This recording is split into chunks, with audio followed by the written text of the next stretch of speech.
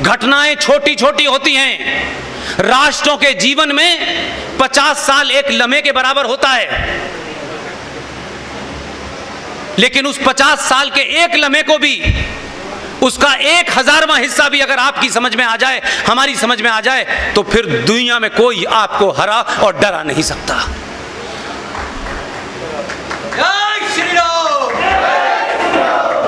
21 अक्टूबर 1943 मैं ये बात उस रेफरेंस में बार बार कहता हूँ, आप सोचेंगे, मैं ये रिपीट क्यों करता हूँ, मुझे अपनी बात को आप तक पहुंचाना है। मैंने यही इसी इसी मंच से कहा कि दुनिया में अगर कोई सबसे बड़ा सच है, एक ही शब्द का सच है, एक ही शब्द का कोई है विश्वास, एक ही वर्ड में उसे इस्तेमाल करना है तो दुनिया का सबसे बड़ा सच है माँ। उससे बड़ा कोई सच नहीं है। वो माँ, जब आपकी आँखें खुल जाती हैं, जब आप उसके गर्भ से निकल के पाँच छह महीने के हो जाते हैं, जिसकी तरफ़ इशारा कर देती है, कहती है, ये तेरा पिता है। जीवन भर बिना उससे किसी सर्टिफिकेट के उसे अपना बाप मान लेते हैं। ये विश्वास है। लेकिन मेरे और आपके जीवन में तो यह घटना नहीं घटी। मेरी माँ ने मुझे सच में सही बाप का बताया, पता बताया। लेकिन 1947 में 11 से 20 लाख लोगों की लाशों पे जब यह देश मिला यह भीख में हमको आज़ादी मिली, जिसे हम कहते हैं आज़ादी मिली। बहादुर लोग कहते हैं हमने आज़ादी ली, कायर लोग कहते हैं हमें मिली। इसमें बड़ा फ़र्क है चरित्र का। सत्तर साल पहले इस देश को जब आज़ादी मिली, लाशों पे मिली, भारत माँ घायल थी, कुछ गुंडों ने, लुटेरों और दलालों ने उस भारत माँ के ऊपर कब्जा कर लिया। और वो भारत माँ जब तक ये बताती कि तेरा असली बाप कौन है, उन्होंने एक मक्कार झूठे को हमारा बाप बना दिया। सत्तर सालों के बाद जब डॉक्यूमेंट खुल रहे हैं, तब पता चला हमारा बाप वो नहीं सुभाष चंद्र बोस था।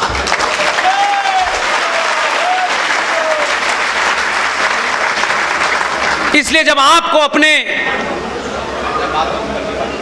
इतिहास की बोध होता है तो आपके अंदर परिवर्तन कैसा होता है?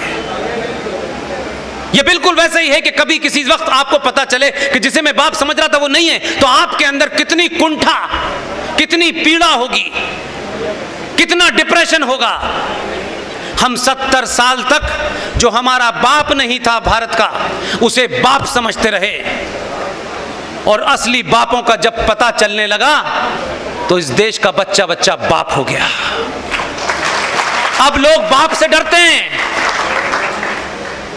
इसलिए 21 अक्टूबर 1943 को सुभाष चंद्र बोस ने जब भारत की आज़ादी की घोषणा की तो दुनिया के नौ देशों ने उसे मान्यता दी थी। लोग डर गए कि यूएसएसआर जैसे देश ने भी मान्यता दी थी। तो दलालों को लगा कि इसको हटाओ, नहीं तो ऐसा ना हो। हमारा क्या होगा? इसलिए समझौता किया गया कि सुभाष चंद्र बोस वॉर क्रिमिनल है, ज़िंदा या मुर्दा, जब भी पकड़े जाएँगे, ब्रिटिश सरकार को दिए जाएँगे। वो चिट्ठियाँ सार्वजनिक हो रही हैं। माँ का हमको पता था, बाप का सही पता चल गया। और जब पता चला तो फिर 2019 हो गया। आपको पता तो चला, हम किसकी औलादे हैं? क्योंकि आपके इतिहास में आचार्य चाणक्य को नहीं पढ़ाया जाता।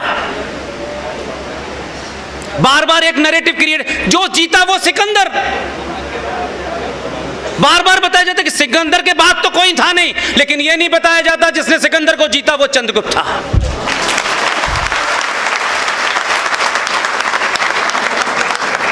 इसलिए गलत इतिहास राष्ट्रों में, कौमों के अंदर कैसी कुंठा पैदा करता है, भारत उसकी जीती जागती मिसाल है। इन परिस्थितियों में कोई एक आदमी आता है, जब इस देश के हज़ारों, लाखों, करोड़ों लोगों को अपने होने और कपड़े पहनने के ऊपर शर्म आती है, तिलक लगाने में शर्म आती है, धोती पहनने में शर्म आती है, मंदिर जाने में शर्म आती है, लोगों को लगता है क्या करना है मंदिर जाके यार? कोई दूसरा जिम्मेदार नहीं है आपकी इस कमज़ोरी के लिए।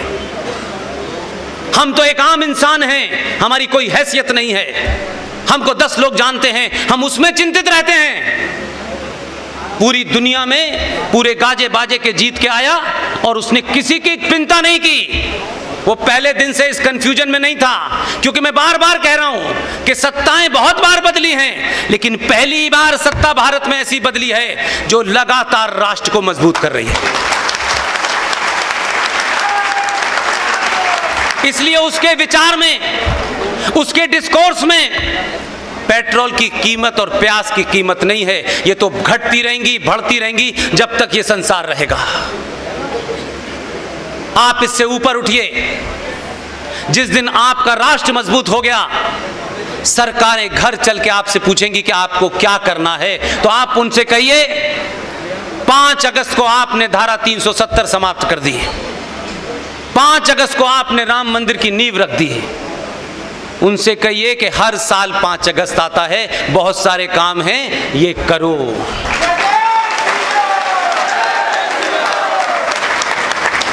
इसलिए हमारी टीम के एक साथी ने बनारस में काशी के मंदिर के ऊपर जो पिटीशन डाली है, उस पर नोटिस हो गया है। ये एक लड़ाई है। ये स्टेट में जाने वाली लड़ाई है। सिर्फ़ स्टेट को आगाह करने के लिए ताकि कल कोई ये ना कहे कि स्टेट का जो काम था वो आपने स्टेट को नहीं बताया और आपने कानून अपने हाथ में लिया। अभी तो हमने सिर्फ़ 6 दिसंबर को कानून लिया है अपने हाथ में। ध्यान रखिएगा, अगर ये कचरा नंदी के सामने से, बनारस में बाबा विश्वनाथ के सामने से नहीं हटा तो 6 दिसंबर फिर होगा, ये ध्यान रखिए। अपने हीरो चुनिए सही। और हीरो से वो उम्मीद करिए जो हीरो को करने भेजा है। हीरो को आपने प्यास की कीमत कम करने नहीं भेजा है। पेट्रोल की कीमतें पहले भी कम थी, ज़्यादा थी तो क्या फ़र्क पड़ गया भाई? हम मर गए क्या? दुनिया ज़िंदा नहीं है क्या? लेकिन आपके अंदर हज़ारों हज़ारों साल की संस्कृति को मानने वाले लोगों में पहली बार बोध हुआ है कि हम कौन है भाई? हमने दुनिया को शून्य दिया, दुनिया को ज्ञान दिया। आज पूरी दुनिया आपका लोहा मानती है। कुछ मूर्ख लोग समझते हैं कि भारत 1947 में पैदा हुआ है।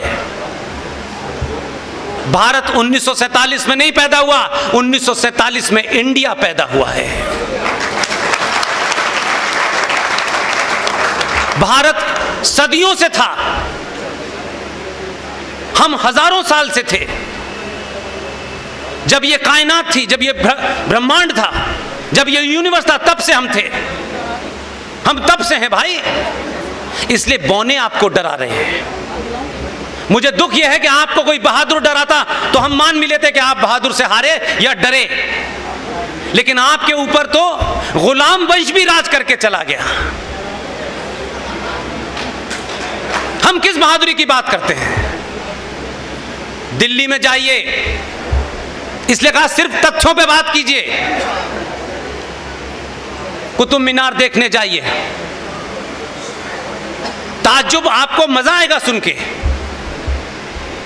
कुतुब मीनार में आर्कियोलॉजिकल सर्वे ऑफ़ इंडिया, जो भारत सरकार का एक डिपार्टमेंट है, जो ऐसे पुरातत्व विशेष की चीज़ों का ध्यान रखता है, वहाँ उस आर्कियोलॉजिकल सर्वे ऑफ़ इंडिया का एक पत्थर लगा हुआ है। उस पत्थर पे लिखा हुआ है ये ऑफिशियल है। आर्कियोलॉजिकल सर्वे ऑफ़ इंडिया का अगर कोई पत्थर लगा है तो वो सरकार का पत्थर होता है। उस पर लिखा हुआ है कि ये कुतुब मीनार 27 जैन मंदिरों को तोड़कर बनाई गई फिर किस बात का प्रूफ मांग रहे हैं? लेकिन यह बात प्रचारित नहीं होगी। फेसबुक पे तमाम पोस्ट होंगी। लेकिन यह पोस्ट नहीं जागृत होगी कि भाई ये कुतुब मीनार जो बनाई है, खुद सरकार कह रही है कि 27 जैन मंदिरों को तोड़ के बनाया है। ये कोई आरएसएस विश्व हिंदू परिषद नहीं कह रही है। आप बात बीच में तो लाइए, लोगों को बताइए तो।